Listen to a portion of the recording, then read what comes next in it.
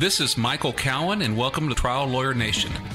He helps us pan for the gold inside ourselves. You need to have grit. I mean, a lot of this is grit. I feel like I've been made a better lawyer. They're talking about something that's real to them. You have to be really careful not to be Goliath. They saved a bunch of lives and changed society forever. But let's just begin the conversation. Welcome to Trial Lawyer Nation, your source for guidance to win bigger verdicts, get more cases, and manage your practice. And now, here's your host, noteworthy author, sought after speaker, and renowned trial lawyer, Michael Cowen. Today on Trial Lawyer Nation, I'm really excited to have Lisa Blue with us. Lisa is a legendary attorney. Uh, she's out of Dallas, Texas, but she's done cases all across the country. She has over $350 million in jury verdicts, hundreds of millions of dollars more in, in uh, settlements. She won the largest mesothelioma verdict in the state of Texas, over $55 million. She was part of the team uh, in Texas that tried a Vioxx case with a $253 million verdict. Uh, she's also the leading expert in the country on jury selection. She's written at least three books on jury selection. Uh, she is brought in on mega cases all over the country to help with the jury selection. And she's got a very unique background on that because she has two master's degrees in psychology, a PhD in counseling psychology, and was involved as a psychologist before she got her uh, law, law degree. So we have a lot to learn from her. I'm excited to have her here, and I'd like to welcome Lisa Blue.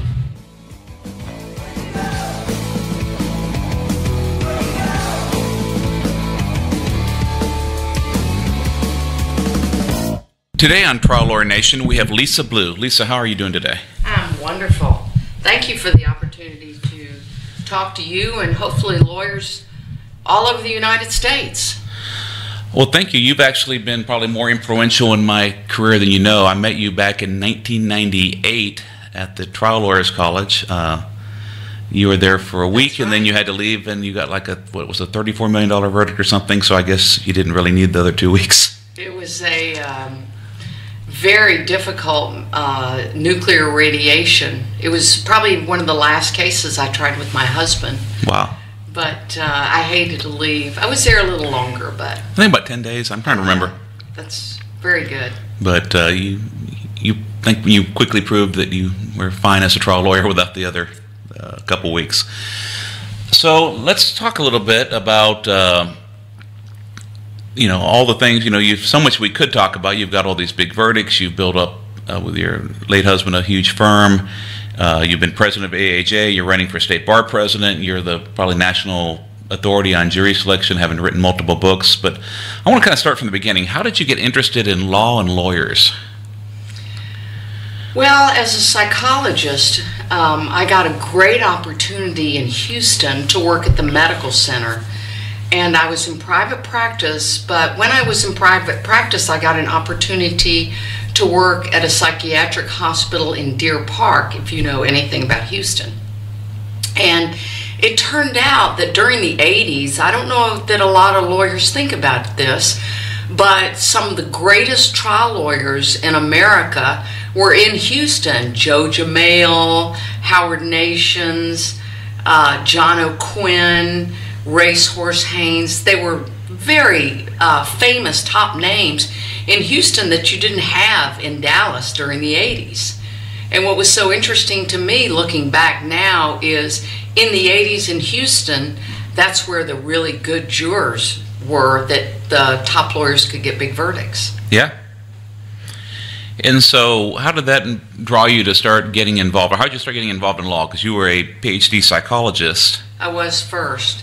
And so. and still uh, are I guess I am. I still see judges and lawyers only. I have a small private practice in psychology to keep up my license as a PhD psychologist.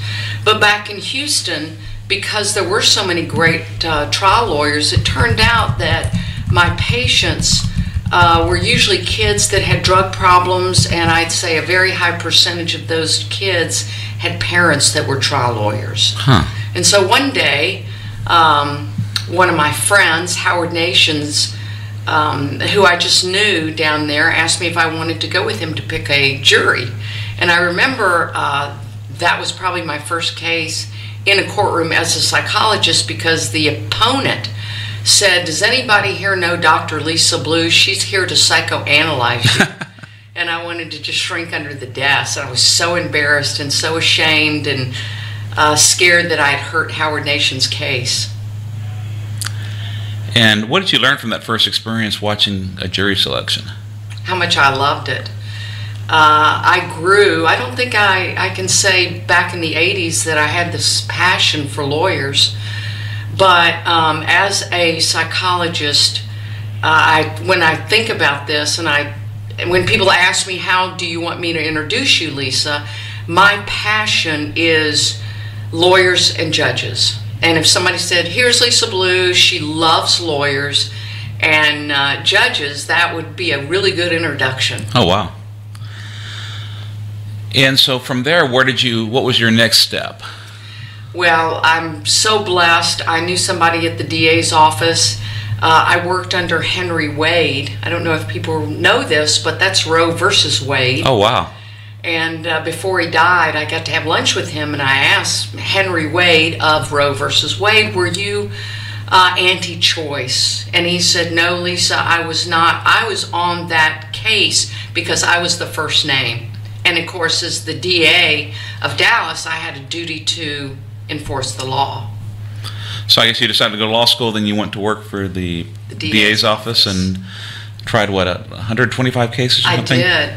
I um, started misdemeanors, and probably the best uh, advice, and I hope people listening to this will tell their kids, or if you're a young lawyer, you'll think about this, and that's always get a specialty. Always be really good at something, because if you're a generalist, it's unlikely that you're going to be able to shine or to be able to have something that you can say, hey, I'm, I'm good at this.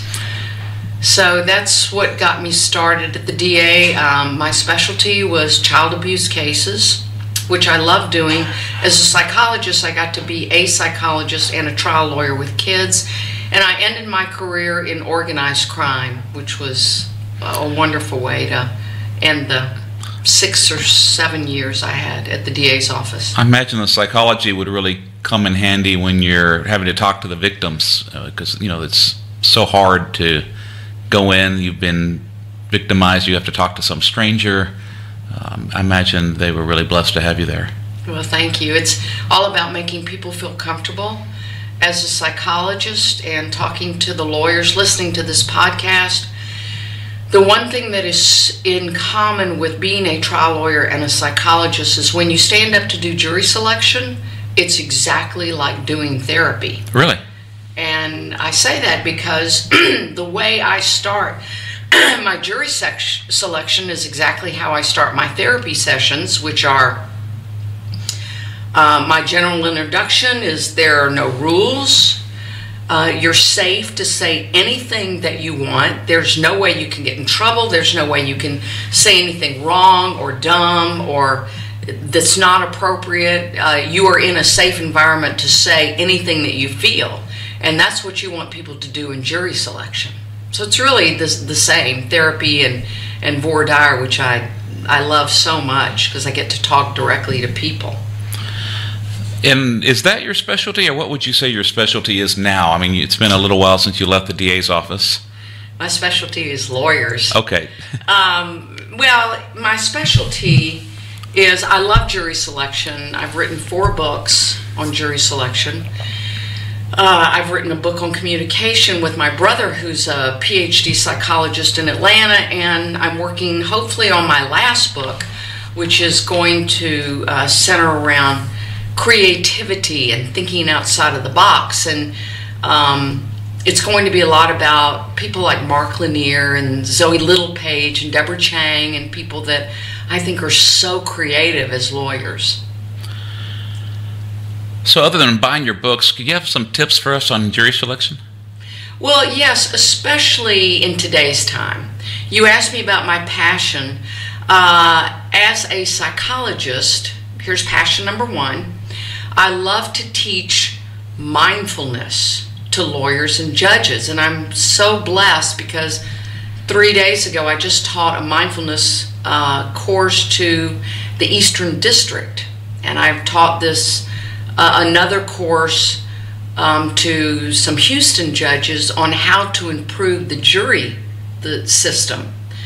And the way I put that speech together was I contacted who I think are the best 10 jury psychologists in America. And I said, Give me your top five tips for improving the jury system. And so I put together a speech. It's called 21 Steps to Improve the, the Jury System. And it's really for judges. Mindfulness is for lawyers and judges. And then a speech I'm giving tomorrow in Houston is picking a jury in post Trump times. Tell me about I'm that. Fascinated with Donald Trump. Um, I'm fascinated with Donald Trump, um, not so much because of what he's doing as president, but the fact that the people that voted for President Trump are are very loyal to him. And one of my I feel like my duties as a trial psychologist and a trial lawyer is to really understand people that like Trump, people that voted for Trump, what makes them different on a jury, whether they're anywhere in the United States. And uh, I think it's language.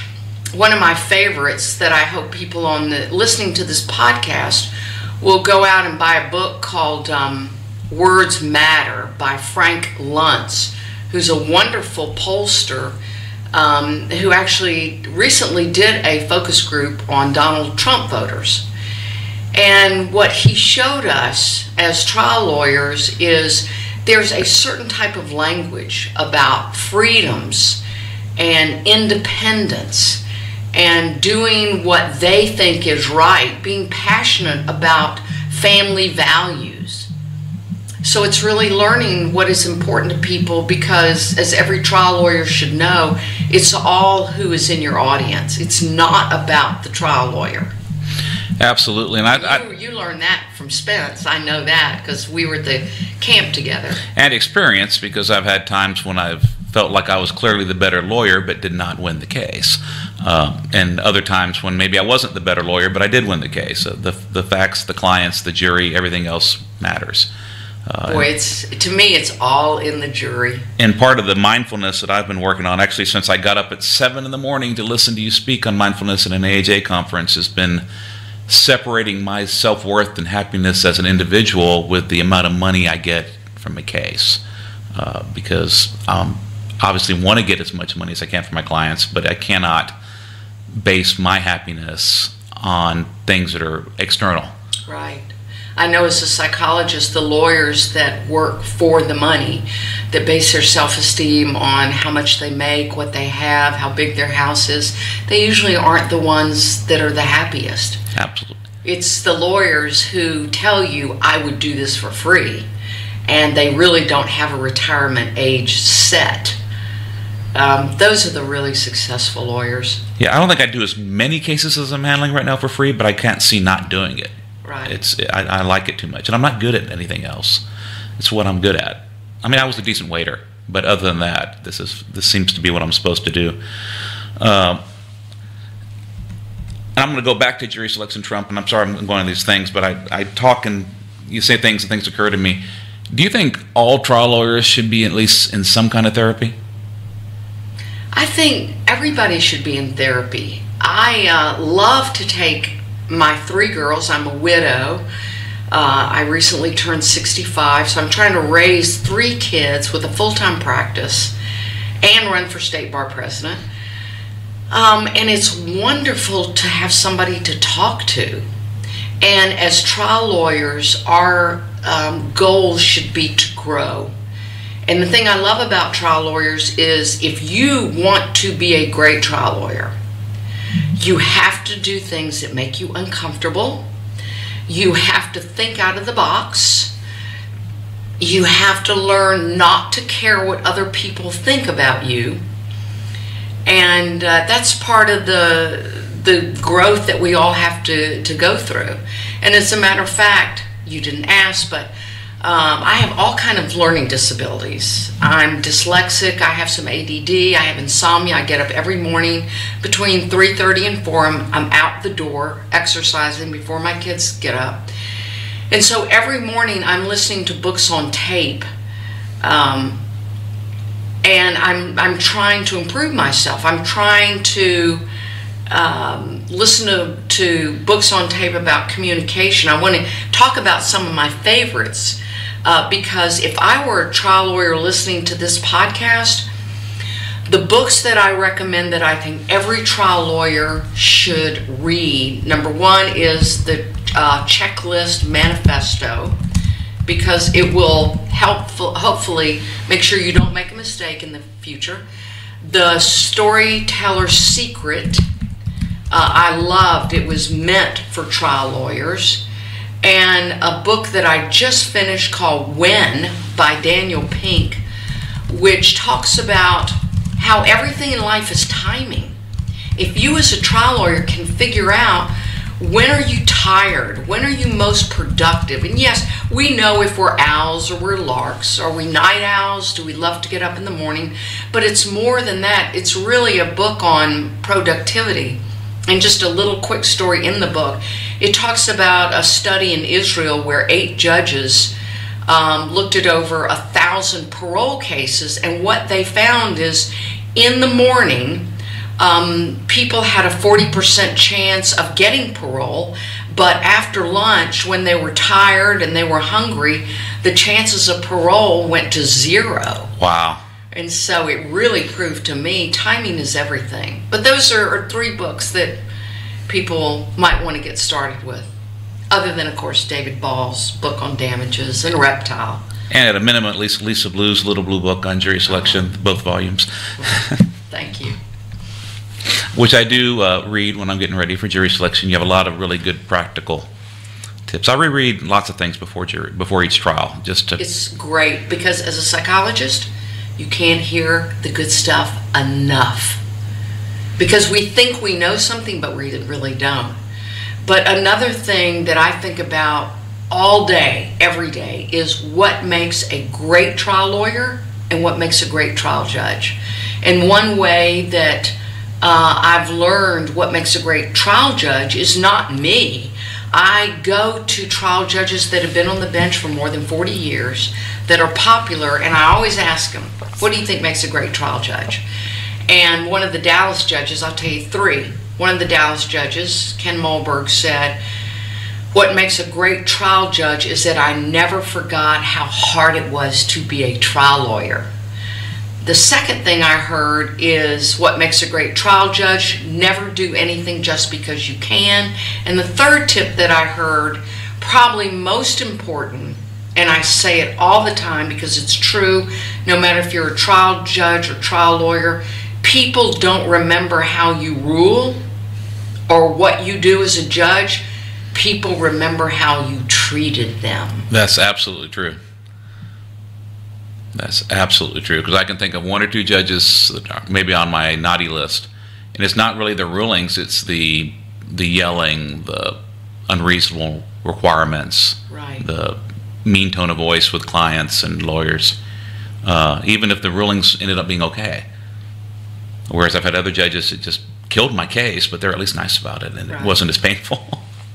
and as long as I felt that it was based on their good faith interpretation of the law and facts and not on some political or personal relationship. But I promise you, Michael, in 20 or 30 years, you'll remember what ha- what happened in a courtroom based on how somebody treated you, and you probably won't remember the ruling. Yeah. I remember one fifty dollar sanction for raising my voice when objecting because the other side was repeatedly violating a motion limiting. Now she sanctioned the other side in front of the jury and waited until I left, but said that I was not allowed to be upset about it. Only she could be upset about it. And uh, I mean, the fifty dollars was not the big thing. It was just right. the. I was so mad I walked home from the courthouse instead of driving because I had to I had to get it out of my system. So we talked about the. Uh, you know, post-Trump and, and, Trump jurors, who I, I, don't think are necessarily bad jurors for us any more than I think that necessarily liberal Democrats are always good jurors for us. True. Um, what are some other things you think we should be looking at and trying to get better at jury selection? Because I mean, I remember watching you pick a jury in the 90s in Cameron County, and we'd have to go move jury selection into the central jury room because there weren't enough jurors to put in the courtroom because you get too many people off for cause, and they'd have to have mistrials. So we had to get 130 person panels instead of a 40 person panel like everybody else. So, you know, I want to hear what you have to say. Well, I think jury selection can be boiled down to two words belief system. In my heart of hearts, I, I'm a, I've been a trial lawyer for 38 years, and I believe that people do not judge cases on evidence. They judge cases based on their belief system. They everybody has on a filter, you like fake glasses, and they see the evidence through their filter. And the sad thing about federal courts that don't let lawyers pick their juries, their own, have attorney voir dire, is that they don't understand federal judges that the case, I believe, is over once the jury is selected because of their bias and prejudices. Not that they'll say they're bias and prejudice, but Right. we all have leanings. We and we all see um, the evidence through our own filters. And I definitely felt that way. I went through jury selection in federal court uh, about 10 years ago.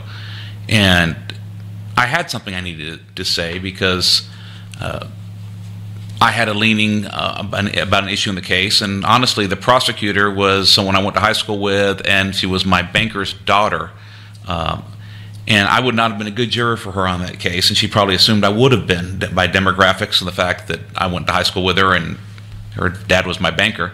Uh, but I and I did speak up. It was it, it was difficult. I mean, it- there was this incredible social pressure to sit there and be quiet. And of course, we can follow the law, judge. And she's sitting way up there, and we're sitting down. And um, and you know, how do we avoid when we're talking to juror? How do we avoid that attitude and getting them to speak?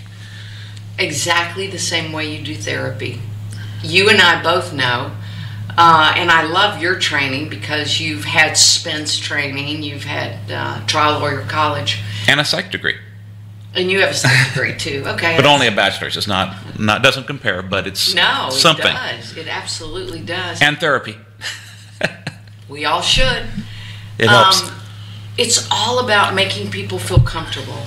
And as you know, show me yours, I'll show you mine. Um, and it's being able, and this I, I learned the hard way. And if, if I could say something to the trial lawyers, jury selection's so hard because when you do it right, and I'm going to say right, you should be able to have jurors say, like they've said to me, Miss Blue, I don't like you. Miss Blue, they've said this to me in Fort Worth, I think you're sleazy. Um, Miss Blue, I think uh, that what, what you just said was phony. wow. And that's good, but it doesn't feel good, but it is good because the test is to the trial lawyers that I want to say to the audience can you make that audience feel so comfortable that they can stand up and say, Michael, I don't like you. I think you're a sleaze king. Now, that to me is a good voir dire. For the, I'll say for men and, females, if at the end of voir dire you haven't sweated through your suits or your dresses, you're not doing it right.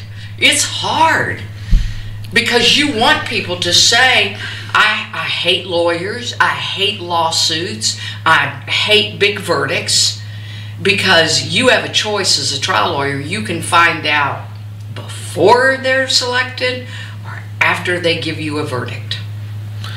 So, what's your advice? So, this is one thing I've struggled with. Is um, I get I'm good at getting people to talk about how they hate my case and they hate plaintiff's verdicts and they hate you know, but they can be fair. Um, or they admit to me they have a bias, but then we have a judge who'll say, "Well, can you follow the law?" You know, and then the judge keeps them on. You only have so many peremptories, and my only thing I worry about is you get this huge conversation that we spend, you know, unfortunately sometimes only 20 or 30 minutes, that's all they'll give you, uh, talking about, and how do you turn around to like, this is, case is not like that. I, I hate starting the trial with an atmosphere of, okay, we're hearing a BS case, uh, we shouldn't give any money, nobody in the right mind would give any money, now let's start opening statement. You mean you've set the stage as it feels like it's negative? It feels like a real negative cloud, Cloud, right. and which you need to get out, but um, how do you then transition either sometime at the end of voir dire or in your opening from the negativity to now we have the exception. This is the case. It's not frivolous. This is the Well, I think it's how you frame it. And as trial lawyers, it's a great concept to understand framing. In my belief, I've always believed that jurors will forgive anything as long as you tell them the truth. And if you start the voir dire, just like, and you did this at the Trial Lawyers College, members of the jury panel, I feel like I'm starting negative. But the reason I'm setting up my questions of who cannot, who cannot give money, who cannot sit on a personal injury case, is because that's how we decide if you are the right juror or not. So it's all about what, what you tell the jury. But um, I think a great voir dire is getting people to be honest enough so they you talk about the warts on your case everybody hears what the warts are and then the people say oh i can handle that wart or no i i think that's terrible i would be prejudiced but to go back because i want to be very thoughtful about our audience that this is trial lawyers all over the united states and when you talked about um, being feeling a negative cloud, first of all, you've got to know the law. You've got to know things like Hyundai versus Cortez. And you were talking about sometimes it the judge will rehabilitate or the opponent will say yes, but can't you be fair? And first of all, you got to know the law in voir dire. When I go to trial, I take a big paper notebook of all the most important voir dire cases, and I try to get people on the panel to repeat phrases in the cases. But my co author and one of my best friends, Robert Hirschhorn, who I adore, who I hire uh, to pick my juries, um, he, uh, you know, we, we always start with you got to start strong and end strong. And then what uh, Robert Hirschhorn taught, taught me is you have to put them in the, he calls it the Cortez coffin, which, for example, somebody might say they have a bias against personal injury lawsuits. Now, here's where trial lawyers make a mistake. They move on to the next question. And because of the Cortez case, you have to, as a trial lawyer, do something different. You have to nail the coffin. And you have to say to the jury panel, I'm sorry if I'm being repetitive, but because of the law, I need to ask you, Mr. Smith, Miss Jones, no matter who asks you, if you can be fair, are you going to give the same answer and nod your head?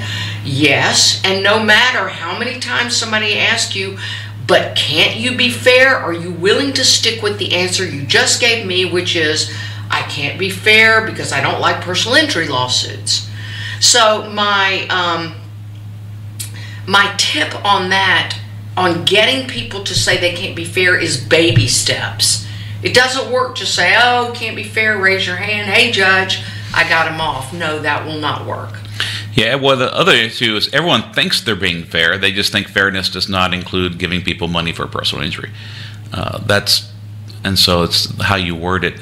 And I have seen that when you right. do get get them committed, and when you legitimately listen to them, they didn't feel like you were manipulating them into an answer that you wanted. Some people get agitated when the other side tries to get them to say, "Well, you don't really feel that strongly." Right. But then I've just seen some judges; it's a mix that they don't care what case law you have. If, if the person, unless the person will say, "I will not follow the law and the instructions you give me," they'll put them on the panel. Right. Uh, where it should be, they're supposed to look at the gestalt of the whole thing, and does this person appear to have a bias? And it shouldn't be a magic word on one side or the other. Uh, but you know, different judges look at it different ways, and some unfortunately give us 15 minutes, and right. there's a limit to what you can do other than find just the people most likely to admit their bias, which sometimes I fear are just the people that figured out the game and don't want to serve. Okay, well, let's go there. People that just don't want to serve I don't think people that don't want to serve should be forced to serve. And my rationale as a psychologist is if I wanted to go on a date with you and you didn't want to go on a date with me, and I forced you to go on a date, and then I said, oh, by the way, the date's going to last four weeks, you'd be awfully unhappy. Yeah. So you don't want people to to do that. But you know, I talked about knowing the law, Michael, how important that is. But you also you have to know the judge. If the judge says, and people ask me this, Lisa, what do I do when I have 15 minutes? You prioritize, prioritize, prioritize, and you start your voir dire. Of course, you start with the Robert Hirschhorn. This is a big and important case, but it's a simple case. You start strong, you end strong, and you say, I have 15 minutes, and so I have to go fast. And here's the goal Do you, in your heart of hearts, are you going to start this case with a leaning that's a bias or prejudice? Speak now or forever hold your peace. Because this is a three week trial. And if you get on the wrong case, it's a problem for everyone. Perfect. That's why I like talking to you.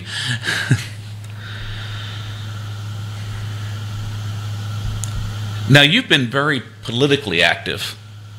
And uh, what are your feelings as to whether trial lawyers have a responsibility to be politically active? Well, my sweet husband, Fred Baron, uh, who's now deceased, he used to get up in the morning and he used to say to me, You know, Lisa, politics matter. Think about it. Um, everything from Rosa Parks to civil rights to the Me Too movement, everything now is politics and legislation. And I always tell lawyers when I stand in front of a crowd look, no one cares about you but you. The Chamber of Commerce is not going to run to the courthouse to help the trial lawyers. They want more power. And if you don't stand together and help politicians that care about the civil justice system, that care about keeping the courthouse doors open, they will not stay open. My biggest fear is the end of civil uh, jury trials and the beginning of forced arbitration. Mm-hmm. And that's why I'm so proud. I'm going to give a shout out to the American Association for Justice. If you are not a member, shame on you. You must join because I know, having been president, um, that staff, that team, including Linda Lipsen, your CEO, gets up every morning to do everything she can to keep the courthouse doors open. And she can't do it un- unless all of us help. And they've really done some incredible things. I mean, just the recently, I mean, in the, in a not friendly environment for trial lawyers, there's a case Ahlborn as a U.S. Supreme Court case on when Medicaid can get back their full lien and when they have to reduce it because there's not enough money to compensate fully for every element of damages. And Congress had actually passed a law getting rid of Ahlborn, where Medicaid was going to get first money, and then they fixed it and they took that out of the law. And to do that in this environment, I mean, they're doing wonders over that there. was AAJ. That Yeah. was all AAJ working to make sure that things were fair for people that were injured. And even Texas Trial Lawyers Association, I hear a lot of complaints like that they haven't magically undone the 2003 tort reform. But if you get involved in what's happened, what's been proposed in Austin, and again, and, and not necessarily what would appear to be the most friendly environment for us, they've kept, you know, not too many bad things have happened in the last 10 years, and they were certainly proposed. Uh, but by learning to work and frankly work both sides of the aisle and, and find you know, well, okay, you're in the Tea Party, you're for the Constitution. Well, the seventh. Let's talk about the Seventh Amendment, the right to jury trial, in fighting common cause where they can, supporting the right people. They've done wonders. We wouldn't be in business. I mean, we, you know, I've seen. You wouldn't be in business without TTLA. I'm looking so at it- Join TTLA and join AAJ. I'm looking at a case in Wisconsin right now. It's an automotive product liability case. It's a death of a minor. There's five hundred thousand dollar cap. Oh. You know, Terrible. can can I do an automotive product case where if I have to go to trial, it's going to be two hundred thousand in expenses, and actually do any good for the for the poor family? I mean, who cares about my fee? Let's think about if, if I'm, all I'm doing is doing a case to get myself a fee and get my expenses back. I'm not doing any good in the world. That's true. And you know, luckily we don't have that at least outside of the medical negligence area in Texas. But look uh, at who tort reform hurts. It hurts the poor and those people that don't have a voice. And uh, I cannot say it enough or loud enough what great work Texas Trial Lawyers does and the American Association for Justice. So everybody who has a law practice should join. Yeah, I agree. Now, we talked a little bit about mindfulness earlier, and I, and actually, my the first time I heard it was when I the term was when I listened to you speak at seven in the morning for some reason uh, at an AAJ conference. Talk to us a little bit about what is mindfulness. Well, I always like to start by telling lawyers and judges mindfulness is the easiest thing I've ever had to teach and the hardest thing I've ever had to do. Mindfulness just means being here in the present moment without judging what is happening. And every great lawyer, because I think I told you earlier in this podcast, my passion is thinking about day in and day out what makes a great trial lawyer and what makes a great trial judge. And you cannot be, you cannot be a great trial judge or lawyer unless you are mindful. And in my mindfulness speech, I always have two slides, one of Mark Lanier and one of Michael Watts. And I call them the two most mindful lawyers in America. Um, Mark Lanier, his mindfulness training really comes from his training in religion and his prayer in the morning, and he's written two or three books on the Psalms.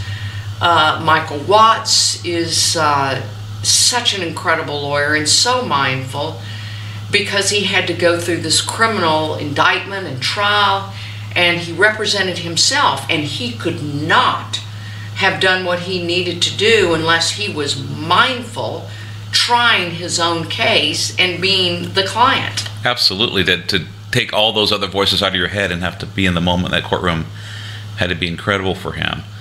What are some things that we can do to become more mindful or to build our mindfulness muscles, as you could say? It's all about training. You know, we all know we get up, we train in the gym, and we can see our arm. Hey, our arm looks more sculpted. We've trained our arm. But I always like to ask people, what have you done your entire life to train your brain? Because the way I want lawyers to think about it is your brain, your, your mind, I'll call it your mind, is like a spoiled child. Your mind goes into loops and now you can't go to sleep because all you can think about is whether you've answered those ROGs correctly. And so, in a nutshell, your mind controls you. So, how do you fix that? If you can just for three minutes a day, and I love this uh, uh, psychologist slash Buddhist monk said this Do you care enough about yourself to spend three minutes a day where you focus on your breathing and you clear your mind? Now, I will attach to that sentence as you clear your mind, you are going to have thoughts come up. That's normal. So don't don't say, oh, Lisa, I can't practice this mindful meditation because my mind's too active. No, you're the one that needs it. So when you have a thought, you just bring your mind back to being totally quiet, focus on your breathing, and here's, I'll, I'll end this little portion on mindfulness to say this. I'm a science girl. I, I don't think of myself as spiritual. When I gave my mindfulness speech to the federal judiciary recently, I thought this was really clever and I had so much fun doing it. I did it in the form of a Daubert hearing. Oh, wow. And what I did, I took all the recent articles on mindfulness and I talked about whether or not they passed the Daubert test. I talked about the authors, uh, whether or not looking at the journals, these were neuroscience, neurophysiology, um, and the what were they studying? And so it passed the Daubert. Was it reliable? What is it repeatable? The rate of error was such that it wasn't too large. It was accepted in the scientific community. So we know that mindfulness practice is, is uh, as effective in treating depression as antidepressants. And to me, that's incredible. But the one fact about mindfulness, it's my favorite fact because of my past, is that mindfulness training actually increases your IQ by 23%. Wow. And growing up in the South and feeling very insecure about my own abilities, um, this mindfulness training has helped me not only to gain more self confidence, but um, when I had a problem with my blood pressure, the doctor said you can go on medication, and I said no, thank you. And I actually dropped my blood pressure and my my pulse just based on mindfulness training. I had to do mindfulness and running, but mine I did the same thing. I don't want you know medications have so many side effects, and once you're on them, you're on them for life. True. Uh, but I, the biggest thing, mindfulness and trial for me has been, I think jury selection and cross. Uh, jury selection when you're actually listening to somebody instead of thinking, okay, what am I going to ask them next? How I, how am I going to get them into the what you call the Cortez box? I mean, you listen to them. They're more likely to because you're actually communicating. You're not thinking what I'm going to ask next, where I'm going to go. They're talking too long. Um, I think that's been really valuable. Learning to be comfortable with silence, so that when people aren't talking, you let one of them break before you break, and people start talking instead of you just continue to monopolizing it, uh, the conversation. But so many things have come out in cross examination when I actually listen to the other witness instead of thinking about my, my, next question or going through my outline that I think have really broken trials open and, and turned like a medium sized case into a big case because you know you, you actually you're there and you and you're listening and there's things between the words and pauses and the way facial expressions where you realize there's more there. I need to go ask this question even though it might not be a leading question and i might not really know what the answer is but there's something there. And you feel it and you go there and you find all kinds of great things. And even my last trial I, you know there were things that were said by my clients or by our experts that and, and i knew that the we had some weaknesses that the defense lawyer just stayed on script and didn't even get. Yeah. Uh, and I was thinking, you know, if he if he was listening just a little more carefully instead of worrying about his notes, uh, he may have really hurt us. How did you train your mind to stay totally in the present moment? Well, I'm not all the way there. Uh, meditation is one thing I do. Uh, not. Tell me about your meditation practice. I do. It's a it's a, based on a Zen practice, so it's sitting still eyes open but not looking at anything in particular, uh, counting breaths. I try for 10 to 15 minutes. Uh, in the morning? Different times since it's when I mornings are hard for me because I have to get up. And when I'm in town, I have to get up. I have to get a 13 year old up. I have to uh, get him to school on time, and and uh, and I'm more of a night person than a morning person anyway. So mine's more usually before I go to bed. Does but if I'm in, you asleep? Yes, but if I go to if I'm in trial, I will do it in the mornings. Uh, and and running can, can be. Can you a, imagine trying a case without doing a mindfulness exercise? Yeah, I've done uh, about a hundred of them without doing a mindfulness exercise. But you do now. I do now, and, and it's not that I couldn't win cases without a mindfulness exercise. I just think I am. I think I am at another level when I do this stuff, and and people have noticed people on my team. Uh, some judges have noticed it's it's a different experience when you are fully present in the courtroom and and open to people in the experience. And because the jury's experienced it for the first time, they don't know what's coming next. And you know, trying to have that beginner's mind and going in there, and it doesn't mean you're not prepared. You have to be super prepared to do this. Um, but I love what you just said, Michael. You said going in there with a beginner's mind so I want the audience to know what you're talking about, which is you're listening with the mindset that this that you're a beginner or this is the first time you've heard it or like someone new to the to what's happening, which is very I think very effective. Yeah, because we forget how many years we've been working something. We know what if you're an automotive product lawyer, you know what delta V and PDOF mean. There's you know no idea you know what a herniated disc is and what radiculopathy is if you're a car wreck lawyer. Most jurors have never heard those words. Uh, right. Most jurors have not been through this experience, and so trying to be, you know, open minded when you hear a word you don't know, what does that mean? And but to me, the biggest thing is just when you can actually notice the facial expressions, hear the pauses between the words, the slight misspeak that they caught themselves on, and then just call them out on it. You create a human, moment, even if they don't admit it, you create a human moment, and the jurors understand it. Right. So your practice now, what kind of work are you doing in the law? I just don't know how I got so lucky. I have the most wonderful law practice. I'm getting ready to move to North Carolina Really? for the one of the biggest cases I've ever had. It's a nuisance case against the hog industry for the way they deal with their hog waste. And I'm so excited about it. I've been working on the case for two years. It deals with over 500 clients. Um, and jury selection will be everything in the case. So I'm working on that, and here's my secret. Um, I, I've been a lawyer 38 years. I'm happier now than I've ever been in my life, with especially with my law practice. Some days with my kids, not so much, but um, with my law practice because I only work with people that at the end of when I hang up, I could say to them, "Hey, I love you." I work with people that I could vacation with, that I love being with. I get so excited. There are some Houston lawyers that have cases in Dallas, and I'm so fortunate I get to be local counsel.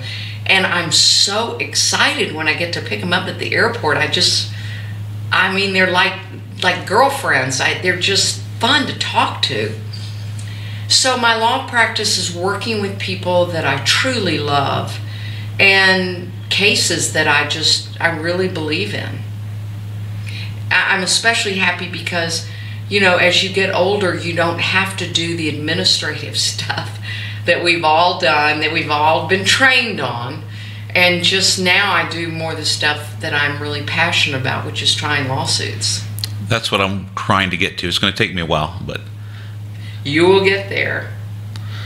And I'm really proud of your practice. I know you do vehicles uh, large vehicle cases all over the United States, and I've watched you grown, and it's really been valuable to me to see how you've done this. Well, thank you. And I noticed one of the ways you've done it is your your training, and your mindfulness, and uh, you're very insightful as a lawyer. Well, you every day you try to learn something new and get better. That's exactly right. You try, you learn something new, try to get better, and to me, and I know this is my training uh, growing up the way I did, but not letting things bother me. That's a gift that everybody listening to this podcast should give themselves. The older you get, the more you practice law, you should not be concerned if people say, Oh, I don't like that Michael did that, or I don't like the case he took, or I don't like what he said during a, a speech. Letting go of what others think is, I think, is one of the greatest things you can do to grow. Yeah, it's so hard for me, but uh, I've been working on it, and it has been paying dividends to the extent I've been able to do it.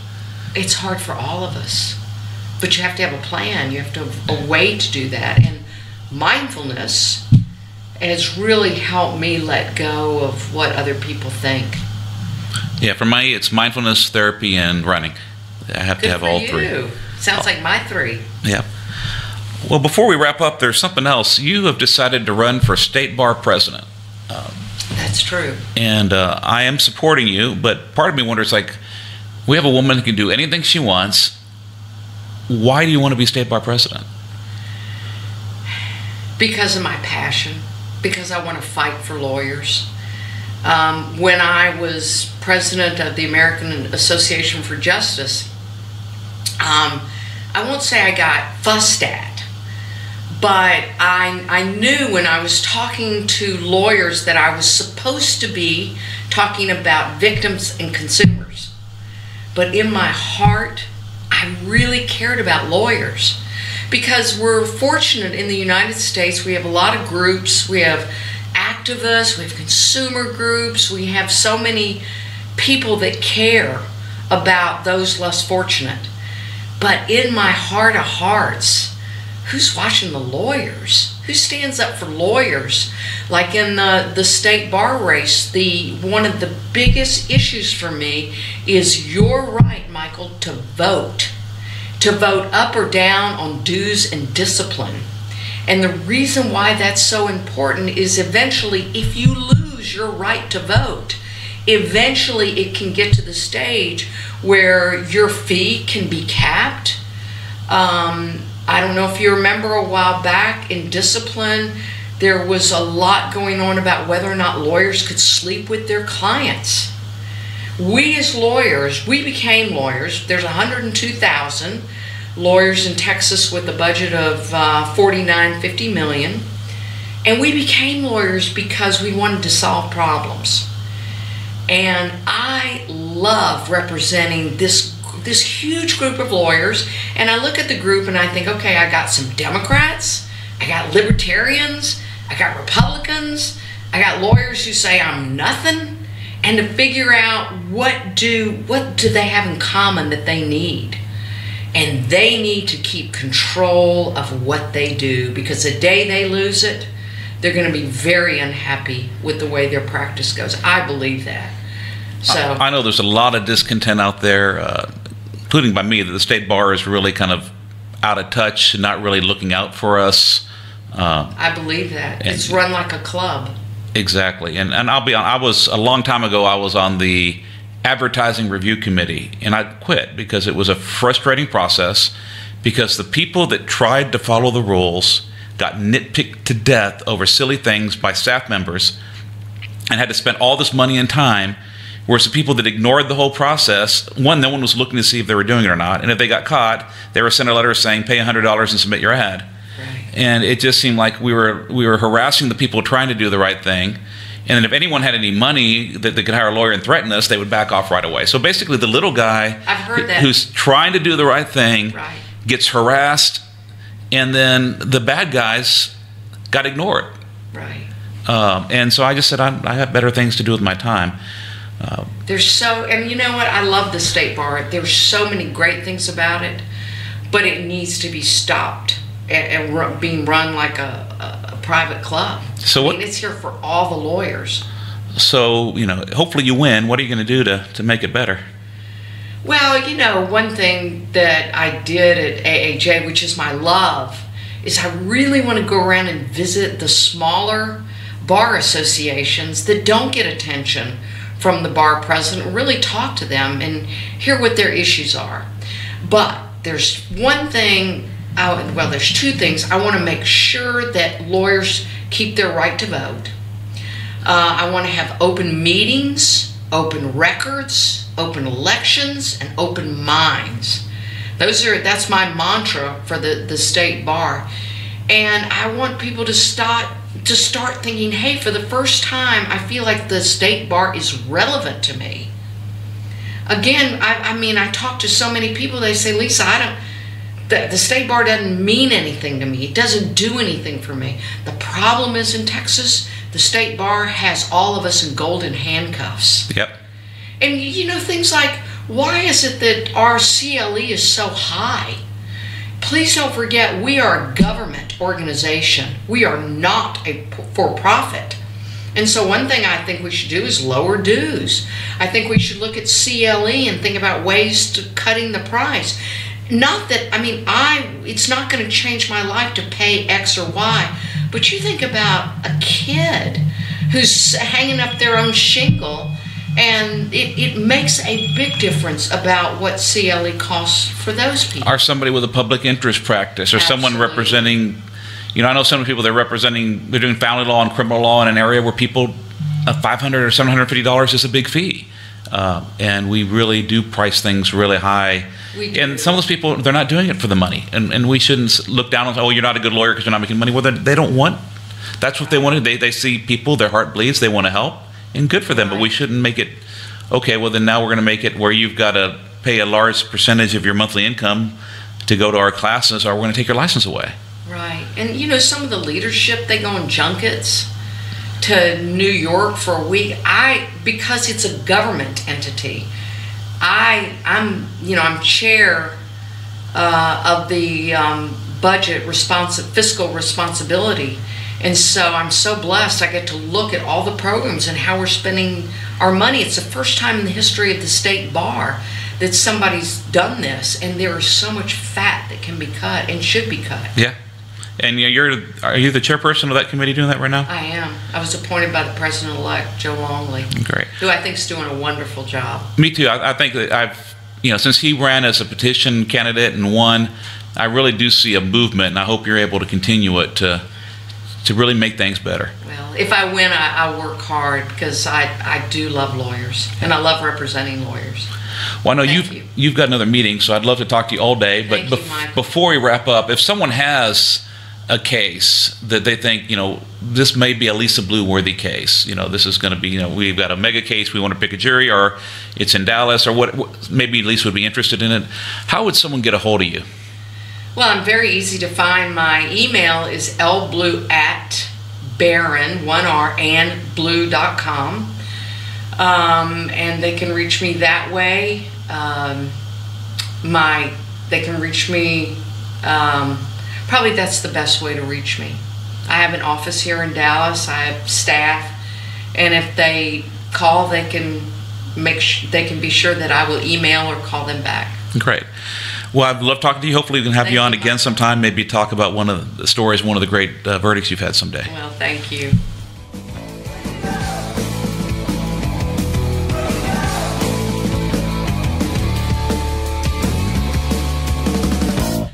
Thank you for joining us on Trial Lawyer Nation. I hope you enjoyed our conversation with Lisa Blue. Uh, that was incredible, and I just feel honored to be able to have someone like that sit there and, and talk to me and teach me a little bit more about jury selection and about all the other issues. Uh, Lisa is running for state bar president, so if you're a Texas lawyer, uh, I'm going to vote for her, and so I'm going to give her a little plug. Not that there's anything wrong with her opponent, but I'm, I'm a Lisa fan.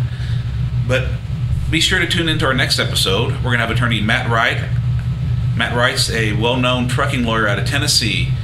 He's going to talk to us about what to do in a trucking case where you have really bad injuries or a death, but the trucking company isn't that big and they don't have enough insurance. Uh, you know, cases against brokers, cases where there's another company that's pretending not to be involved, but they're really the motor carrier, and you might have a 30 million or 100 million dollar insurance policy from a company you don't even know is involved.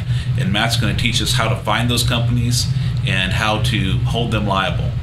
Uh, I think it's something that's going to be very valuable if you do trucking cases. I learned a lot, and I'm applying it in my firm. I hope you do too. So thanks for tuning in today. I look forward to having you with us next time on Trial Lawyer Nation. We look forward to talking with you again soon as we continue to explore powerful insights from our amazing host and remarkable guests here on Trial Lawyer Nation.